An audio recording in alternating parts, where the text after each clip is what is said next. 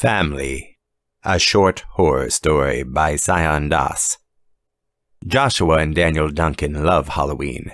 The unhealthy snacks, gory horror films, and corny decorations warm their teenage hearts like no other holiday ever could. However, on this Halloween night, someone special is at their front door.